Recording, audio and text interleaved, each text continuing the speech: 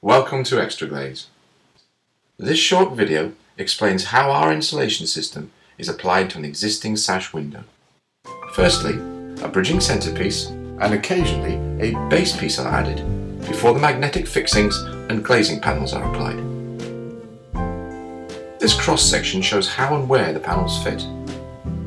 To the top frame attached with magnetic strips, to the centerpiece, and to the base frame or windowsill.